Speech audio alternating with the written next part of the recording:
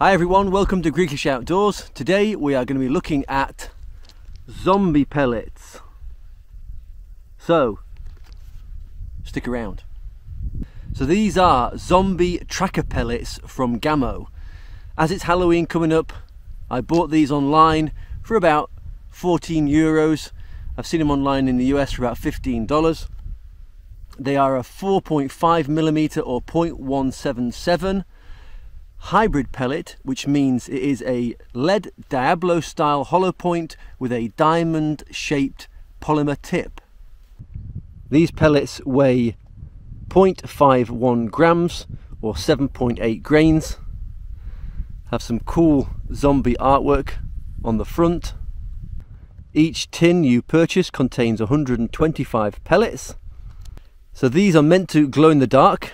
I will be leaving these out in the sun for most of the day to give them the best chance of uh, glowing in the dark and we will test their ability to be a tracker later on this evening. Now because these pellets have that polymer tip they are not suitable for many rotary airgun magazines. They are just simply a little bit too long. Unlike the Predator Polymags where they make a short version they do not in these as of yet. So today I will be testing these out with my Colt single action army revolver and as a comparison I'll be using some Gamo match pellets. These have a very similar weight. They are 0.49 grams or 7.56 grains. So it'll be a nice test of accuracy against the tracers. Right, Let's get the gun loaded with gas and with pellets and give this a try. First, six shots of the Gamo match from 10 metres away.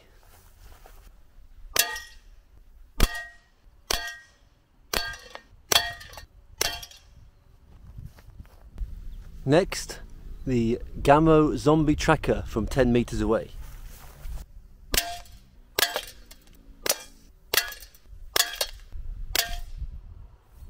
So first the Gamo match, three headshots, two in the circle but missed the actual person and one outside the circle at the top.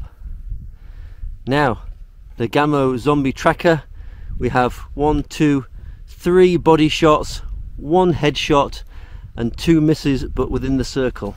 It is a pretty windy day today so being a lighter .177 pellet they are liable to movement in the wind, but not so bad, especially from the old Colt single action army.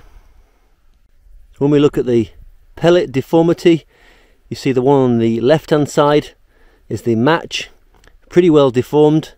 The one on the right is the zombie tracker, again very well deformed with the polymer tip detached, but both of them have deformed well. So that was against a paper target.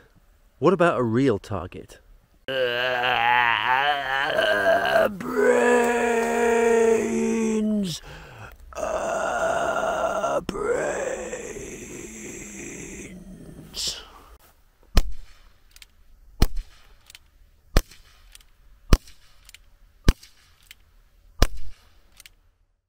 Well, you saw that the rounds hit him slight bit of damage on the brow but I can't see any that penetrated this zombie head.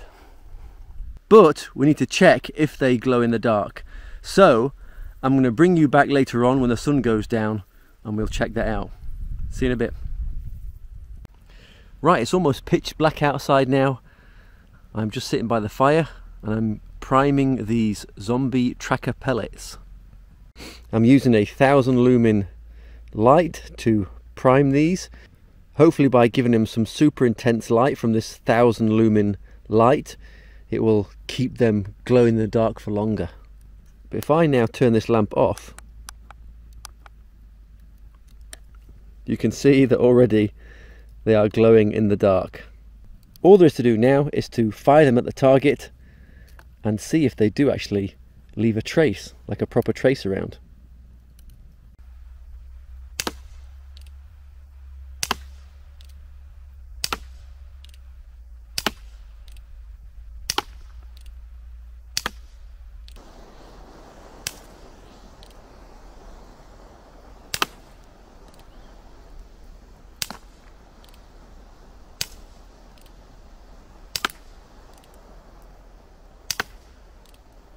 So that was a bit of a fail. Yes, they do glow in the dark, but they are not like a tracer round. You cannot see them fly through the air.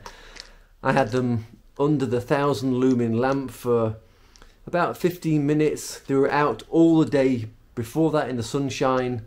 As I was firing them out of an air pistol and not an air rifle, they would have been going slower and therefore there was more chance of you seeing the actual tip of the pellet go through the air. But no.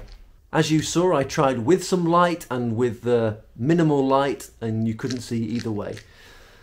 But overall, the pellets are fine. Yes, they're a bit of a gimmick. It's zombie, you get a bit of cool artwork. The pellets do glow in the dark. They're, you know, okay accuracy wise. They do deform pretty well, so they'll cause a good amount of damage. But for the price, are they worth it? Well, they're okay. But there are alternatives out there, such as the Predator Polymags, which do come in a short version and that enables those to go into those rotary magazines and therefore you can use them in many other types of airgun.